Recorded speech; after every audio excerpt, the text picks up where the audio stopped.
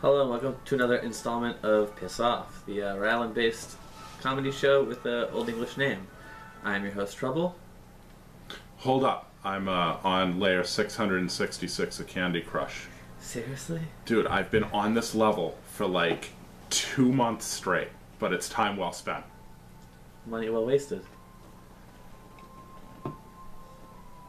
Yeah. Oh, and uh, I'm your host, Michael Crow, and we have a disclaimer for you today. Um, no one should watch this show, as usual. Uh, if you are going to, be 18. Don't worry, uh, the offensive things we say, we usually find one thing to apologize for. Yeah, as a matter of fact, we'll be uh, apologizing to the Hispanics today. Last week we were pretty offensive. Yeah. It's hard um, to be Hispanic. It is, and the truth hurts. So, So, um, this week I'd like to talk about people who suck. And Keanu Reeves is our topic.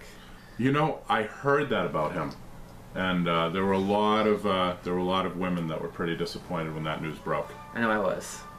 You know, he really just looks like somebody took and smashed him in the forehead with a hammer. And he brings that like he brings that dazed, talentless look to all of his films.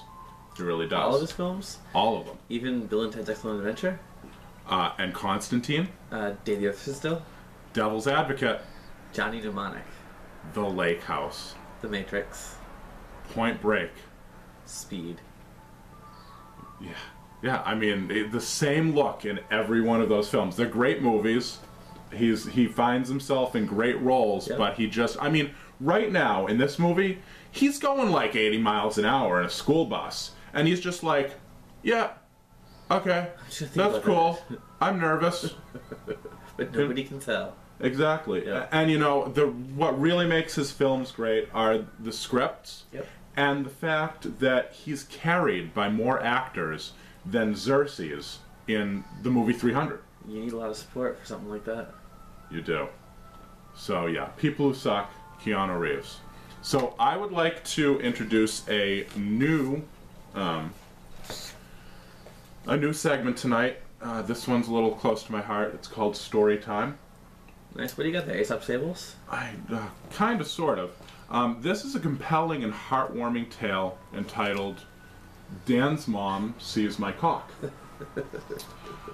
Once upon a time, in the magical land of Northbridge, Massachusetts, where I grew up, there was a night of binge drinking unlike any other, with Isaac and Alfred and Al's younger brother. A cider, a case of cider jack we four had procured and taken it with us through town as we toured. After drinking and walking, we began to head back to Dan's house to settle to bed. What happened next might seem quite remiss, but after unzipping on the road, I did piss. Looking around as my deed it was done, I found up the hill my companions had run. Having nowhere to place my bottle, I hoisted my pants and took off full throttle. I entered the house to the call, locked the door, and made the choice to let my pants hit the floor. Up from the doorway there arose such a clatter that Dan's mother did stir to see what was the matter. To and her smile showed to me she thought Christmas come early. My hands they had slipped to reveal to the girlie what sight was before her for her to behold, but one long candy cane and two balls, I am told. So up the stairs with my pants did I dash, after this accidental, inadvertent flash I did flash, as I fled to the bedroom with pants round my knee, to a chorus of what the fuck to break the revelry. The moral of the story: always watch out for Mike's cock. That is that is some good advice right there. Reminds me of the time that you sent me a picture, and I'm thinking to myself, "Oh, great, cool, a picture from Mike. I wonder what this could be." Open that picture up on my phone. Mike's balls. Yeah, it was the brain. Actually, I had just gotten a cell phone for the first time at that point, um, and I was like, "Oh, I can take a." The, the, the most meaningful thing I could think of to do with my phone was send a picture of my balls to thirty of my friends, Just let them know you're thinking about. it. squoze with uh, with a caption that said "the brain" and "fag" That's after it because everyone had looked at it. That's right. You look at another man's balls. Yeah. You're gay. Exactly. Right on. Right on. Uh, awesome, awesome. So, so this week on Trouble's topic, I would like to talk to you all about lovesick. Symptoms of lovesickness may include, but are not limited to, hot flashes, cold sweats, weight gain, weight loss, nausea, vomiting, diarrhea of the mouth, unreasonable behavior, labored breathing, depression, intense feeling of anguish, chest pain, rectal bleeding, sudden sense of loss, weakness in the knees, vertigo, burning loins, dry mouth, wet mouth, an uncontrollable urge to strangle someone to death, and a complete break with reality. So be careful. Um, a lot of people talk to me about the uh, how you catch it, like what makes it a disease, and I tell them there are simple things that have been fed to us throughout time about love.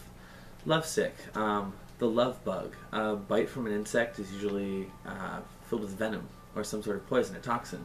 You know, you're an exterminator. Um, the Cupid's arrows. If Cupid's arrows strike you and then you fall in love with the next person you see, clearly his arrows are tipped with some kind of poison. That, Duh. That sounds true. Right? Yeah, I would say love is kind of poisonous. Right? Um, let's see. Love sick, love bug. It's So- just it's just a bad thing. People have done the stupidest stuff in the world, and all because of love. I know someone who's tearing themselves apart. It makes the person sick. Um, I know other people who waste all of their time, all of their efforts, all of their everything. I have to be careful because the more I get into this, the more I get angry about it. I personally don't love anybody except my daughter and my mother. Uh, everybody else, well, they get love, which is just a nice way of saying I'm your friend.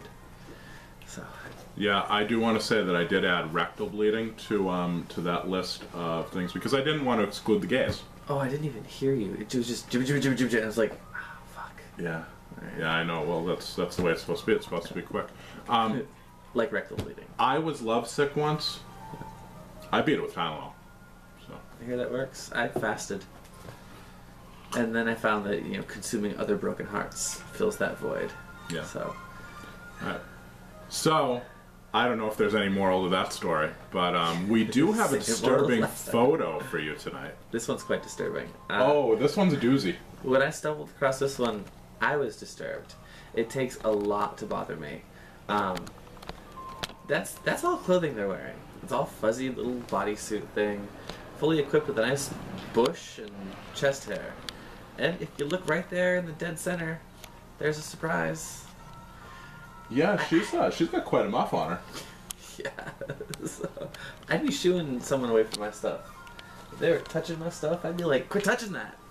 Apparently, that is a father who doesn't mind if his daughter. Um, well, I mean, he's got like a quarter inch of fabric in between his uh, man meat and her hand, so you know it would be like um, having your daughter touch your thing through your underwear, which is really abnormal. And a quarter inch is the difference between, you know, kind of weird and felony. Yeah, this probably isn't the nuclear family right there. And um, I, I know it's hard for you to see there, but I can see this. Even the little girl has a little penis there.